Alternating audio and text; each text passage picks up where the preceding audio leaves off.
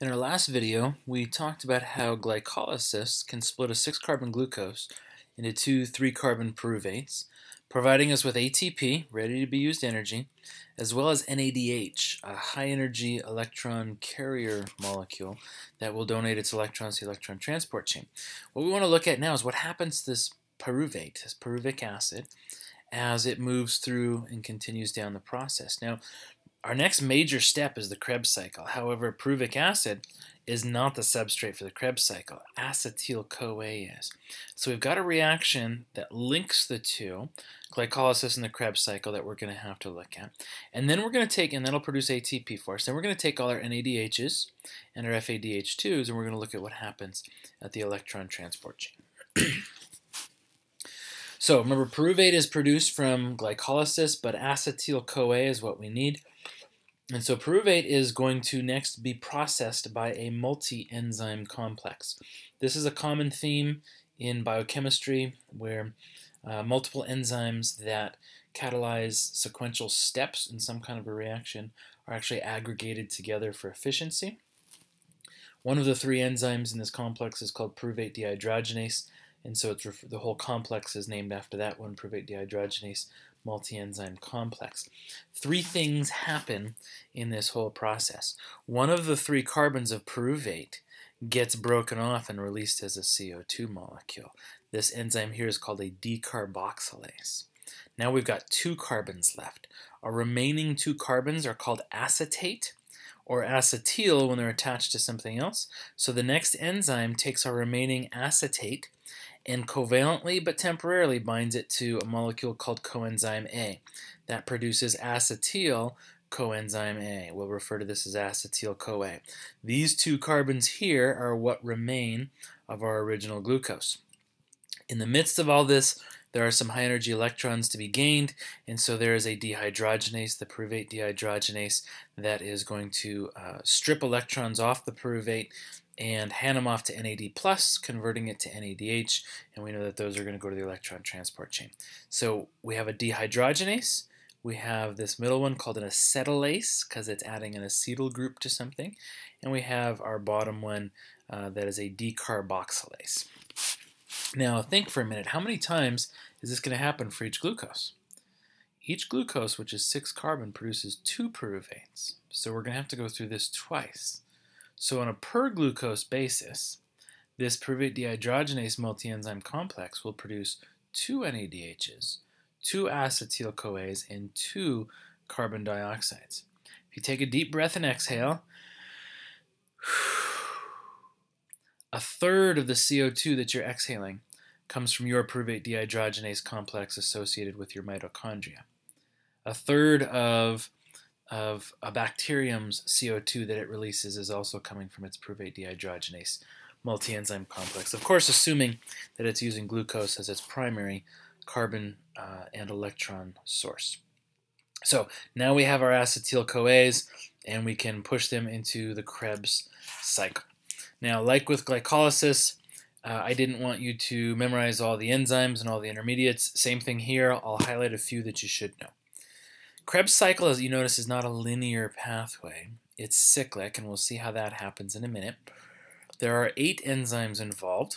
We're just going to call them enzymes 1 through 8, and don't memorize even that. Just memorize that there are eight of them, so you're familiar with that. At the top, you see our acetyl-CoA coming in, and the first enzyme in the process is going to take those two carbons, and it's going to covalently attach them to a four-carbon molecule called oxaloacetate and we're going to form a six carbon citrate or citric acid. That's where it gets its alternative name, the citric acid cycle or the tricarboxylic acid cycle because we have acetate, oxaloacetate, and citrate all coming together in that first uh, that first step.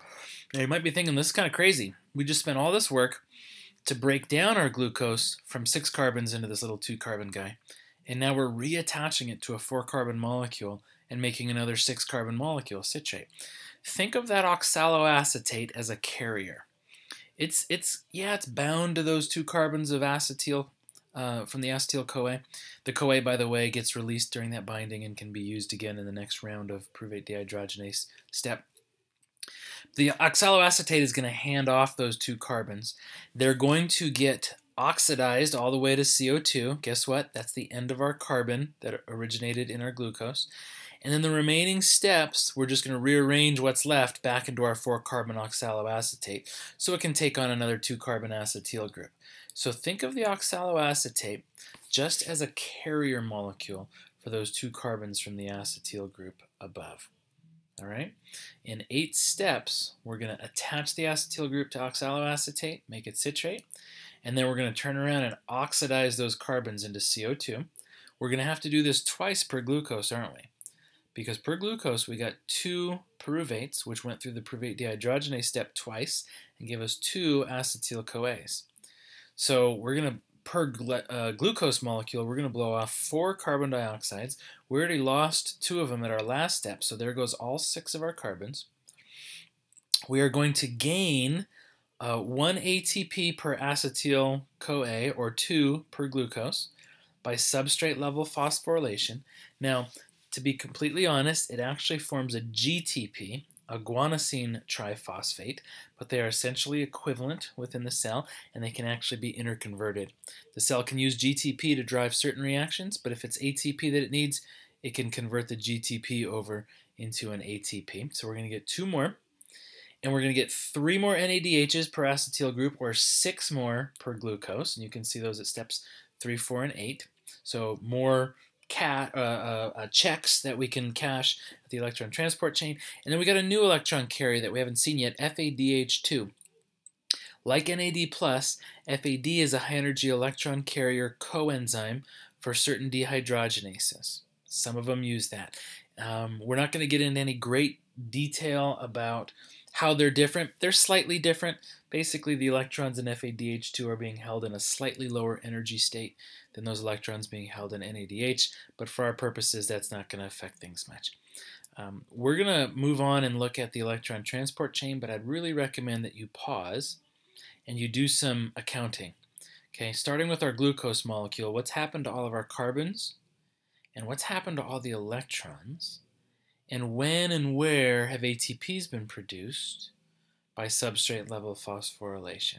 Definitely worth taking your time to work through those big picture questions to track everything up to this point. All right, let's look briefly. We're going to oversimplify the electron transport chain. We're going to look at uh, a gram negative. So you've got your outer membrane, your LPS layer, and your inner cytoplasmic membrane. You can see where the cytoplasm is. You can see where the exterior environment is. The space between the two is the periplasm. Uh, I, on this, this little diagram in PowerPoint, I haven't drawn the peptidoglycan cell wall, but there's a thin wall uh, in the midst of that um, the midst of that periplasm. The electron transport chain is a series of proteins and lipid carriers. There's only one lipid carrier, the rest are proteins that can shuttle electrons around. And with each step as they pass off the electrons, these are all redox reactions, as they pass off electrons, a little bit of energy is released. The electrons drop in their energy state. You can picture it like a little kid sitting at the top of a slide. Right? They're sitting at the top of the slide, and as they move down the slide, they have less and less potential energy available until they get to the bottom and land on their butt. And now there's no energy left at all, right? Because they're already as low as they're going to get. NADH and FADH2 donate their electrons to these carrier molecules, and they get transferred from one to the next, to the next, to the next. Ultimately, the very last one in the sequence will hand those electrons off to oxygen, in the cytoplasm, reduce the oxygen to water, and somehow magically ATP is produced, right? Well, it's not magic. It's something we call chemiosmosis or chemiosmotic theory. At some of those electron carriers, as the electrons move through those carriers in the membrane, some of them can use the energy of the electrons moving through almost like a current in a wire to drive the movement, the translocation of a proton from the cytoplasm into the periplasm and accumulate them. So now we've got a hydrogen ion or proton gradient. This is valuable. This is an electrochemical gradient. Now those hydrogens that are in the periplasm are going to desperately want to get across the inner membrane back into the cytoplasm to equilibrium, but guess what? They can't because they're charged. No matter how small they are, they have a plus one charge. They can't wiggle across that membrane on their own unless there's something there to help the protons get across and take advantage of the energy that's released as the gradient is dissipated, as the gradient returns back to a state of equilibrium. It just so happens that there is something very handy that can be used. We call it the ATP synthase. And we call that pressure of hydrogen ions built up in the periplasm the proton motive force, the PMF. As those protons are allowed to come back into the cytoplasm through the ATP synthase, it drives it like a machine. So it grabs an ADP, grabs an inorganic phosphate, and covalently attaches them at the expense of the energy being released from this downhill flow of protons. Protons, if you remember, uh, we measure proton concentration as pH. The pH in the periplasm is very low, it's very acidic. The pH in the cytoplasm is neutral, it's a much higher pH. We have fewer protons there, and therefore it's less acidic. Therefore, the protons are going to move from the periplasm to the cytoplasm, and that'll drive our ATP synthase. This, folks, is what we call oxidative phosphorylation. You can see why oxidative phosphorylation requires an entire electron transport chain, all the proton pumps involved, and an ATP synthase. Take some time as you study to compare that to substrate level phosphorylation that takes place back in the Krebs cycle and in glycolysis. All right, I'm going to leave you with this slide here, uh, a review of aerobic cell respiration. Make sure you're comfortable with all this before you move on to the next video.